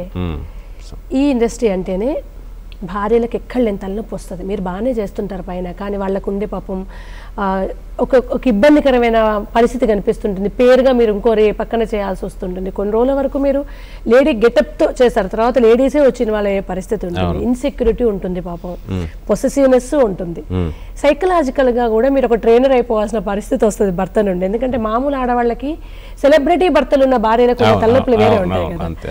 పాపం వాళ్ళేదో గ్రామీణ నేపథ్యం ఎలా మీ మీ భార్య ఎలా మేనేజ్ చేస్తుంది మీతో? ఏం లేదండి ఆల్రెడీ స్కిట్లు చేశాను కాబట్టి ప్రిపేర్డ్ భార్యకి హెడ్ఏక్ అంటే మేము ఆర్టిస్ట్ అవ్వడం వల్ల వైఫ్లకి హెడ్ఏక్ అలా ఉంటుంది అంటున్నారా అంటే కొంచెం మీరు మామూలుగా ఆడపిల్లకు ఒక భర్త అమ్మాయితో. మాట్లాడితేనే. కోపం వస్తుంది అసలు అక్కడ ఏం లేకుండా కోపం వస్తుంది. మీరు ఏమే వస్తాయి అంటూ డాన్సులు చేస్తారు మళ్ళీ అవును. ముందు సుందరం మాస్టర్ రేంజ్లో స్టెప్స్ ఉంటాయి మీకు అవన్నీ కొంచెం కలుక్కు అంటుంటుంది యా, యా. ఎందుకంటే అంటే మా ప్రొఫెషన్ ఇది ఎందుకంటే ఎంత ఇది ఉన్నా మా ఇప్పుడు హీరో దగ్గర నుంచి యాజ్ అ కమెడియన్ దగ్గర నుంచి మేము అందరం కలిసి యాక్ట్ చేస్తేనే కదా ప్రేక్షకులు మమ్మల్ని ఆదరించి ఈ చేసేది. అంటే మన పర్సనల్ లైఫ్ భార్య వేరు ఉండొచ్చు లేడీ ఆర్టిస్ట్ ఎవరు ఉంటారు వాళ్ళు ఆమె పర్సనల్ లైఫ్లో హస్బెండ్ వేరు ఉండొచ్చు. కానీ ఆన్ స్క్రీన్ మేము రియల్ భార్య భర్తలే యాక్ట్ చేయాలి. అది అంత పెప్ మనం సీన్లో ఇస్తేనే కదా. ఇన్వాల్వ్ ఉంటుంది కదా. సో ఇక్కడ నలుగురు కలిసి చేస్తేనే ఒక అంటే సినిమా చేస్తున్నట్టు ఉండకూడదు. ఒక ఫ్యామిలీలో జరుగుతున్నట్టు ఉండాలి కదా మేము. ఎవరి వైఫ్ వాళ్ళకుంటారు ఎవరు హస్బెండ్ వాళ్ళకుంటారు. బట్ ఆన్ సెట్ అది ఇదే ఉండదు. బికాస్ ఆఫ్ మనం ఇండస్ట్రీలో ఉన్నామంటే ఎంత మన ఇది ఉన్నా పర్సనల్ మనకు పిల్లలు వైఫ్ అది ఎప్పుడు మనకు ఎవ్రీ పర్సన్కి అది ఉంటుంది. ఎఫెక్షన్ ఉంటుంది. వర్క్ వర్కే పర్సనల్ లైఫ్ పర్సనల్ లైఫే మీ స్కిట్స్ చూసి ఏంటి చంద్ర ఆడవాళ్ళ మీదే సెటైర్ అంటుంటారు. ఎండింగ్కి వచ్చేసరికి మళ్ళీ ఆడవాళ్ళకి సపోర్ట్గా ఉంటారు. తర్వాత ఇన్ని సెటైర్స్ వేసే చంద్రకి ఆడవాళ్ళు అంటే చాలా రెస్పెక్ట్ అని కంప్లీట్ ఫ్యామిలీ పర్సన్ అని విన్నాం మేము. అంటే అంతా పక్కన పెడితే కుటుంబానికి ఫస్ట్ ప్రియారిటీ ఇస్తారు ఆడవాళ్ళకి ఎక్కువ రెస్పెక్ట్ ఇస్తారని. ఇది ఎక్కడ నేర్చుకున్నారు మీరు ఆ సంస్కారం అంతా? సంస్కారం అంటే నాకు రియల్గా పర్సనల్గా లేడీస్ అంటే బాగా రెస్పెక్ట్ ఏంటంటే చాలా కొద్దిగా మోమాటంగా ఉంటాను అంత ఫ్రీగా నేను అంత ఈజీగా మూవ్ అవ్వలేను ఫస్ట్ ఆఫ్ ఆల్ ఎంత అండి అది కొద్దిగా తక్కువ మాట్లాడతాను ఎక్కడైనా. సో బికాజ్ ఆఫ్ మా ఫాదర్ మదర్ వాళ్ళ స్ట్రగులు నాన్న సమ్ మదర్ దగ్గర నుంచి కొంత మన స్ట్రగుల్ మనం కొంత నేర్పిస్తుంది. ఒక రెస్పెక్ట్ కానీ ఒక మాట తీరు కానీ కొంత ఫ్యామిలీ నుంచి మన ఇది వస్తే కొంత మనకి స్ట్రగుల్ నేర్పిస్తుంది. ఎలా ఉండాలి ఏం చేయాలి అంతే. ప్రపోజల్ ఎవరైనా చేశారా మీకు? అరేంజ్ మ్యారేజ్ అరేంజ్ మ్యారేజ్ అండి. మా మా అత్త కూతుర్నే ఏదో చేసుకున్నాను నేను. ఓకే. మీ పిల్లలు కుటుంబం గురించి ఒకసారి మా ప్రేక్షకులకి. పిల్లలు ఇద్దరు అబ్బాయిలు అండి నాకు first one is eleven years old second one is five years old ఇద్దరు బాబులే. ఫాదర్ మదర్ ఊర్లో ఉంటారు. మా బ్రదర్ సో వాళ్ళు చక్కగా ఫ్యామిలీని అమ్మ నాన్న దగ్గర నుంచి నేను చాలా హ్యాపీగా. నాకు ఫ్యామిలీ అందరం హ్యాపీగా ఉండాలి అని చెప్పి నేను ఎవ్రీ మినిట్ నా ఫ్యామిలీని చాలా ప్రయారిటీ ఇస్తాను నేను విత్ ఫాదర్ దగ్గర బ్రదర్ దగ్గర నుంచి. ఎందుకంటే మన కుటుంబం మనం ఎప్పుడు కలిసి ఉంటే కుటుంబం అంటే చిన్న సజెషన్ ఏంటంటే ఎవ్రీ పర్సన్స్కి మనం సరే మనం ఎదిగిన తర్వాత నలుగురు ఎవరో వస్తారు పరిచయాలు అవుతారు అది వేరు. ఒక పది మంది మాకు కుటుంబం ఒక ప- కుటుంబంలో పది మంది ఉన్న కూర్చొని తింటే ఆ కుటుంబంలో సరదాగా మాట్లాడుకుంటూ కూర్చొని తింటే ఎక్స్పీరియన్స్ కొన్ని పంచుకుంటే ఆ బ్రదర్స్తో కానీ ఫాదర్స్తో కానీ మదర్స్తో కానీ ఆ ఆనందం వేరు. ఆ ఆనందం కుటుంబంలోనే వస్తుంది. దాన్ని ఎప్పుడు మిస్ చేసుకోవద్దు. దాన్ని మనం చిన్న చితుకో జరుగుతుంటే దాన్ని హోల్డ్ చేసుకోవాలి. కూర్చొని మాట్లాడు చక్కగా ఉంటే ఆ ఫ్యా కుటుంబంలో ఉండే ఆనందం వేరు ఉంటుంది. నేను అది బాగా బిలీవ్ చేస్తాను అసలు మీరు ఈ ఫీల్డ్కి రాకుంటే ఏమై ఉండేవారు మీరు? తెలియదండి నాకు నేను అదే మీలాగా ఎప్పుడు క్వశ్చన్స్ నా మైండ్లో. నేను ఆర్టిస్ట్ కాయకపోయి ఉంటే ఏమయ్యేవాడిని? అది లే క్వశ్చన్ మార్క్ నా లైఫ్. సో క్వశ్చన్ మార్క్ అదే తెలీదు ఫర్దర్గా ఏంటో. ఒకప్పుడు చంద్ర ఏం చేస్తున్నాడు ఊర్లో ఏదో తిరుగుతున్నాడట కదా అంటే కవర్ చేసుకోలేక ఇబ్బంది పడ్డాం మీ అమ్మకి ఇప్పుడు. అబ్బా మీ అబ్బాయితో ఒక ఫోటో ఇప్పవా అని అడిగే వాళ్ళు కూడా ఉండుంటారు ఊర్లో. ఆవు చంద్ర వాళ్ళ అమ్మనంట అని. మిమ్మల్ని కవర్ చేయలేక తడబడి అబద్ధాలతో వెళ్ళ తీసిన అమ్మ నుంచి నా కొడుకు సెలబ్రిటీ నా కొడుకుతో ఫోటో అడుగుతున్నారు అనే ఒక గొప్ప అంటే ఒక తల్లికి అంతకు మించి ఒక కొడుకు ఇంక ఇవ్వడానికి ఏం ఉండదు మీరు ఏ ఇంట్లో ఉంచారు ఏ ఫుడ్ కదా ఒక తల్లి గుండె నిండిపోతుంది నా కొడుకు అని చెప్పుకోవడానికి. మీ అమ్మ ఎప్పుడైనా చెప్తుందా నాకు ఇది చాలా నాన్న అని ఎప్పుడైనా చెప్తుంటుంది? Yeah they feel very happy because ఒక టైంలో నేను స్ట్రగుల్లో ఉన్నప్పుడు మీ అబ్బాయి ఏం చేస్తున్నారంటే ఏమో ఎక్కడో పని చేస్తున్నట్టున్నారు. అంటే తప్పులేదు ఎందుకంటే ఎవరిని అడుగుతాం? మాకు మానవ నైజం అది. ఎందుకురా పని చేసుకోవచ్చు ఎందుకు అవన్నీ మనం సినిమాలు మనం ఎందుకు రానిస్తారా అంత పెద్ద పెద్ద వాళ్ళ వ్యవహారాలు ఉంటాయి. మనకి ఎందుకు సినిమాలు గినిమాలు టైం వేస్ట్ చేసుకో? ఊరికే తిరుగుతా పెళ్ళి చూసి పడేయండి వాడికి. ముందు ఇంటి దగ్గర పడి ఉంటారు అని అనేవారు సర్లే వాడేదో పడుతున్నాడు కానీ అని చెప్పేసి నాకు ఇద్దరు తమ్ముళ్ళు ఉంటే నాకంటే ముందు వాళ్ళిద్దరు వాళ్ళు నాకంటే ముందే పెళ్ళి చేపించేస్తా వాళ్ళిద్దరికి. ఎందుకంటే నీకు చేయాలి నీకు చేస్తే తమ్ముడికి చేయాలంటే నాకు వద్దు వాళ్ళకి చేసేయండి ఫస్ట్ అని చెప్పేసి నా మీద బర్డన్ పెట్టదు. నా లైఫ్ ఒకటి అనుకుంటున్నాను. ఫర్దర్ ఏంటో తెలియదు సక్సెస్ అవుతానో తెలియదు సక్సెస్ కానో తెలియదు. దాన్ని చూద్దాం బట్ నన్ను ఇది చేయొద్దు అని చెప్పి చేసి సో ఆ రోజు నుంచి అక్కడ నుంచి ఈరోజు నా పేరెంట్స్కి చమ్మక్ చంద్ర మీ అబ్బాయి అంటే కదా అని చెప్పి అడిగి అమ్మ నాన్నని సమ్ అరే ఎక్కడ కూర్చున్నా కూడా చమ్మక్ చంద్ర వాళ్ళ ఫాదర్ అయినాడు ఓ చమ్మక్ చంద్ర ఫాదర్ అని. ఆ లైఫ్లో పేరెంట్స్ వాళ్ళు ఇంకా కోరుకుంటారు? డబ్బులు గిబ్బులు ఏం కోరుకోరు? ఈ టైంలో ఒక ఆప్యాయత మంచి హ్యాపీనెస్. నేను వాళ్ళు కూడా కడుపున పుట్టినందుకు ఎంతో కొంత నా తరఫు నుంచి సంతోషాన్ని ఇచ్చాను. వాళ్ళ రుణం ఎప్పుడు తీర్చుకోలేందే తల్లిదండ్రులది. బట్ నా తరఫు నుంచి యాజ్ ఏ సన్గా నా పేరెంట్స్కి ఎంతో కొంత హ్యాపీనెస్ని మాత్రం ఇచ్చాను. ఒక ఇదే అని చెప్పి ఎప్పుడు హ్యాపీ ఫీల్ కానీ ఎంత రిస్క్ ఫ్యాక్టర్ అంటే మీ లైఫ్ ఒక గుడ్డి నమ్మకం అంతే. ఏమీ లేదు. గాల్లో దీపం పెట్టుకుని నిలబడ్డారు మీరు అంతే ఇంకా. బ్యాక్గ్రౌండ్ లేదు. ఏజ్ అవుతుంది ఎన్ని రెవల్యూషన్స్ అంటే అసలు మీరున్న ఒక గ్రామ ఇప్పటికీ గ్రామ నేపథ్యం అని కాదు. పెద్దవాడికి పెళ్ళి కాకుండా చిన్నవాడికి చేశారంటే పెద్దవాడికి ఏం ప్రాబ్లము? ఇట్లా వంద ప్రశ్నలు వస్తాయి. అది చూసే వాళ్ళకి ఏముందిలే తమ్ముడిని ముందు అది చిన్నదే కానీ దాని వెనక పెద్ద సమస్య. సుడిగుండం ఉంటుంది. అదొక పెద్ద రెవల్యూషన్ అంటే తమ్ముళ్ళకి పెళ్ళి చేసేయమన్నారు. నా సంగతి ఏంటో నాకు తెలియదు అన్నారు అసలు ఏ బ్యాక్గ్రౌండ్ లేదు కానీ ఒకటే సినిమా చేస్తా అంతే ఇంకా ఆ- ఆ సినిమా ఒకటి కమలా హాసన్ జాబు జాబ్ అని శంకర శాస్త్రి గారి చుట్టూ తిరుగుతుంటారు సోమయాసులు గారి చుట్టూ. అంత గుడ్డి నమ్మకం అంత సంకల్ప బలం ఎక్కడిది మీకు అసలు? ఒక్కసారన్నా ఏం చేస్తున్నా నేను? ఏదైనా రిస్క్లో పడిపోతున్నాను? భయంగా లేదా మీకు? బికాజ్ ఏంటంటే ఏదో అంటే నాకు ఫర్దర్ లైఫ్ ఏంటో కూడా నాకు తెలియదండి ఎందుకంటే నేను ఇక్కడ ఒకటే ఇండస్ట్రీకి వచ్చాను. Seven eight years time waste చేశాను. అవ్వట్లా? ఓకే. ఫర్దర్గా సరే నాకు అవ్వట్లేదు ఇంకైనా చేసుకుందామన్నా నేను మళ్ళీ అక్కడ కొత్తగా టైం వేస్ట్ చేయాల్సిందే కదా. ఈ కొత్త వర్క్ స్టార్ట్ చేయాలంటే మళ్ళీ నా స్ట్రగుల్ స్టార్టింగ్ నుంచే. అనుభవం ఏదైనా బిజినెస్ చేయాలని ఏదైనా వర్క్ చేయాలి మళ్ళీ స్టార్టింగ్ నుంచి. దాంట్లో అనుభవం అవడానికి కొన్ని టైం పడుతుంది కదా. ఇక్కడ ఆల్రెడీ నేను eight years time eight ten years wait చేశాను. ఇక్కడ అనుభవం ఉంది. ఇండస్ట్రీ ఒక అనుభవం ఉంది. ఎలా వెళ్ళాలో ఎలా ఉండకూడదు ఏంటి ఎలా అనేది ఒక చిన్న అనుభవం సో ఆ వేస్టేజ్ ఇక్కడే చేస్తా. ఇంకెందుకు? నేను ఆర్టిస్ట్ కాకపోయినా పర్లేదు. ఒక నెలకు రోజుకు ఐదు వందలు ఇచ్చే జూనియర్ ఆర్టిస్ట్ అయినా పర్లేదు. ఇక్కడే ఉంటాను బట్ ఇండస్ట్రీ వదిలి మాత్రం వెళ్ళను అని ఫిక్స్ అయిపోయాను. ఒక గొప్ప ఆర్టిస్ట్ కమెడియన్ అయిన తర్వాత మీ డాన్స్ ఇష్టాన్ని ఇందులో తీర్చుకుంటున్నారు. ఎంత ఎంత డ్రామాటిక్గా మీరు క్రియేట్ చేస్తారంటే సుందరం మాస్టర్ గారి స్టెప్స్ లా ఉంటాయి. మళ్ళీ ఓవర్ ఉండవు. ఒక మంచి మూమెంట్ ఎవరైనా చేసుకోవచ్చు. కొరియోగ్రఫీ డాన్స్ ఎక్కడ నేర్చుకున్నారు? నేనే కంపోజ్ చేసి బికాస్ నేను స్ట్రగుల్ ఉన్న టైంలో ఇన్స్టిట్యూట్లో నేను టూ త్రీ ఇయర్స్ డాన్స్ నేర్చుకున్నా. డాన్స్ నేర్చుకున్న తర్వాత సమ్ మన ఫీడింగ్కి హోమ్ క్లాసెస్ చెప్పుకునేవాడిని. ఫీడింగ్కి కావాలి కదా. మెయింటెనెన్స్కి నెలకు మూడు నాలుగు వేలు వచ్చాయి. ఆ మెయింటెనెన్స్ క్లాసులు చెప్పుకుంటూ నేను సరదాగా నా ఆర్టిస్ట్ అనేది నేను ఎప్పుడు దీన్ని వదల్లా. హోమ్ క్లాసెస్ చెప్పుకుంటూ నేను యాజ్ ఆర్టిస్ట్గా ట్రై చేస్తూ ఉండేవాడిని. సో ఆ డ్యాన్స్ నాకు బాగా ఇష్టం. ఫస్ట్ నుంచి ఇష్టం. ఇన్స్టిట్యూట్లో నేర్చుకున్నాను. తర్వాత నేను హోమ్ క్లాస్. ఆ ట్రావెల్ అవుతూనే ఉంది నాతో డ్యాన్స్ అనేది రెగ్యులర్గా.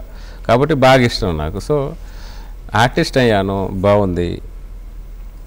కానీ నాకు డ్యాన్స్ ఇష్టం. ఏం చేద్దాం? సరదాగా ఎంట్రీలో సాంగ్ పెడతాం. అని చెప్పేసి సరదాగా ఎంట్రీతో చిన్న చిన్న మూమెంట్లతో డ్యాన్స్ డ్యాన్స్ కూడా భలే చేస్తావు అంటే ఎంట్రీ సాంగ్ కూడా చెప్పనా? నేను మీ డాన్స్కి ఫ్యాన్ని స్కిట్తో పోలీస్. ఎందుకంటే కొంతమంది కామెడీ లవర్స్ ఉంటారు కొంతమంది డాన్స్ లవర్స్ ఉంటారు. మళ్ళీ ఎంత బాగుంటదంటే ఆ కాలంలో కొంత ఆ, ఎయిటీస్ నైన్టీస్ సాంగ్స్ తీసుకొని నైంటీ సాంగ్స్ తీసుకొని హ్యాపీగా. ఆ సాంగ్స్ నాకు ఇష్టం బాగా. సో అలా ఆ కోరిక నాకేమనిపిస్తుంది అబ్బా ఇంకొంతసేపు డాన్స్ ఉంటే బాగుంది అనేలోపు డాన్స్ అయిపోతుంది. Thirty seconds to one minute లోపు మీరు క్లోజ్ చేసేస్తారు. చేయాలి కదా అవును. అబ్జెక్షన్ చెప్పలేదా? చంద్ర డాన్స్ ఎందుకు స్కిట్లో అని ఎప్పుడు అనలేదా ఎవరే? చంద్ర డ్యాన్స్ వాళ్ళు అలవాటు అయిపోయారు ఫస్ట్ డ్యాన్స్ లేదా దీంట్లో అని. అంటున్నారా? ఫస్ట్ ఐడియా వచ్చిన రోజు ఇంప్లిమెంట్ చేసే ముందు మీరు ఏమనుకున్నారు? ఇది ఇది ఇవాళ చేద్దామని డ్రామాటిక్ గానే పెట్టారా? దీన్ని సక్సెస్ అవుతే దీన్ని కంటిన్యూ చేసేద్దామని అని అనుకొని మరి ఫిక్స్ అయి పెట్టారా? ఫిక్స్ అయ్యేం లేదు. సరదాగా అంటే యాక్చువల్లీ ఇంట్లోంచి వచ్చేటప్పుడు ఏదో ఏమే ఎక్కడున్నావు అనుకుంటూ మాట్లాడుకుంటూ రావడం వేరు. ఒక చిన్న ఒక చిన్న సౌండ్ ఒక చిన్న డ్యాన్స్ వైబ్రేషన్ ఒక చిన్న అలర్ట్నెస్ ఇవ్వడం వేరు. ఆడియన్స్కి ఒక అలర్ట్నెస్ అక్కడ ఉన్న సమ్ టెక్నీషియన్స్కి ఒక అలర్ట్నెస్ పాటలు అనేది ఎవరికైనా ఇష్టం ఉంటుంది కదా. ఎయిటీ నైన్టీస్ కిడ్స్ అయితే థరోలీ ఎంజాయ్ చేస్తారు సో ఆ అలర్ట్నెస్ కొద్దిగా ఏదైనా ఉంటే బాగుంటుంది అనిపించి సాంగ్ నేను స్టార్ట్ చేసుకున్నా ఇంకా. కానీ అది కొంచెం రిస్క్ అండి. అంటే డాన్స్ నుంచి ఇమీడియట్గా స్కిట్లోకి జంప్ చేయాలి. దానికి మధ్య ఎక్కడ కొంచెం జనాలు ఇది ఏదో మిస్ మ్యాచ్ అని ఫీల్ అయినా కథం ఫెయిల్ అవుతుంది. అంతేగా. అప్పుడు మీరు ఈ- ఈ సాంగ్ దీనికి అనేది ఎట్లా ఎట్లా సెలెక్ట్ చేసుకుంటున్నారు? ఏం లేదండి. బెస్ట్ సాంగ్ మంచి హిట్ సాంగ్స్ ఏమున్నాయి తీసుకొని స్కిట్కి తగ్గట్టుగా సాంగ్ ఉండదు. చాలా ఇంకా అనేసి అంటుంటారు మీరు. అంటే ఎంత- డ్రామాటిక్గా చేస్తుంటారు అంటే అసలు. చాలే ఇంకా చేసి చాలే దా అంటే "ఏ, కాసేపు చేయొచ్చుగా కాసేపు చేస్తే కరెంట్ బిల్ మీ అయ్య కడతాడు దా అంట.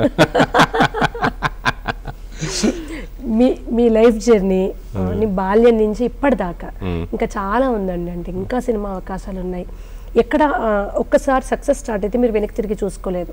చెమ్మక్ చంద్ర ప్రస్థానం అయితే నిర్విఘ్నంగా కొనసాగుతోంది కదా ఇది మనం ఇదే జరుగుతుందని ఊహించలేని ఒక ఇండస్ట్రీ. మనం ప్లాన్ చేసుకోలేము. "ఆ, ఈ పదేళ్ళు ఉంటా ఈ పదిహేను ఏళ్ళు ఇవాళ ఉండొచ్చు సడన్గా రేపే ఫాల్ డౌన్ అవ్వచ్చు. ఇటువంటి ఇండస్ట్రీలో ప్లాన్స్ వర్కౌట్ అవుతున్నాయా? అనుకోకుండానే వర్కౌట్ అవుతుంది. మీరు ఏమైనా ప్లాన్డ్గా వెళ్తున్నారా? ఇది దీని తర్వాత ఇది చేసుకుంటా దీని తర్వాత ఇది చేసుకుంటా అట్లా వెళ్తున్నారు. సో ప్లాన్డ్ అనేది ఏం ఉండదండి ఇక్కడ. సో మనం యాజ్ ఏ ఆర్టిస్ట్గా సక్సెస్ అయ్యాం. ఫర్దర్గా వచ్చే సినిమాలు చూసుకొని జాగ్రత్త చూసుకుంటూ చేసుకోవడమే ఇక్కడ. అంతే తప్ప ప్లాన్గా ఇదే చేయాలి అదే చేయాలని రూల్ ఏం లేవు. సో ఏది మంచి సినిమాలు ఏదో వస్తే చేసుకుంటూ పని చేసుకుంటూ వెళ్ళిపోవడం ఇంకా ప్లానెడ్ ఏం లేవు ఇక్కడ. అంటే ఫర్దర్ ఎన్ని సంవత్సరాలు ఎవరికైనా ఎవరు ఏదో ఏటో టైంలో మనకు ఫాలో ఆన్ అవుతాం. ఎనీ ఆర్టిస్ట్ ఎనీ టెక్నీషియన్స్ మనకున్న నేమ్ వరకు మనం ఎంత జాగ్రత్తగా నాలుగు సినిమాలు చేసుకున్నా నా డబ్బులు సంపాదించుకొని హ్యాపీగా ఫర్దర్గా మన హ్యాపీ లైఫ్ గడిపాం. అది. అది తప్ప అది ఎంతవరకు ఉంటుందో చేసుకుంటూ వెళ్ళిపోవడం అంతే. మీరు మా ప్రేక్షకులకు ఏం మెసేజ్ ఇద్దాం అనుకుంటున్నారు? సో దూరదర్శన్ ప్రేక్షకులందరికీ నమస్కారం. Thank you so much after long time మిమ్మల్ని అందరినీ కలిశాను ఈ ఇంటర్వ్యూ ద్వారా. So thank you so much నన్ను ఇంటర్వ్యూకి పిలిచినందుకు. సో సంతోషంగా ఉండండి నవ్వుతూ ఉండండి. దానికి మించిన ఇంకేం లైఫ్ లేదు. సరదాగా హ్యాపీగా ఉండి నవ్వుతూ ఉండండి. ఈరోజు నా స్కిట్ నాకు బోర్ కొట్టింది అనుకో నా స్కిట్లు చూసి నేను నవ్వుతూ ఉంటాను